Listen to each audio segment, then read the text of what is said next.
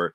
I'm just watching a historic first take place in America, and I'm making some commentary for Christians based on what I think we can take away from this. And so I'm going to get to that in just a few moments. But listen to what Tatum says.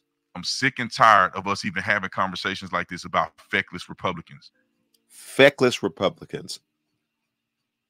Weak, no spine, no activity, no ability to get anything done. That's what he's calling feckless Republicans. There's no reason whatsoever that Biden hadn't been impeached already. There's no reason whatsoever that we cannot get this border secured.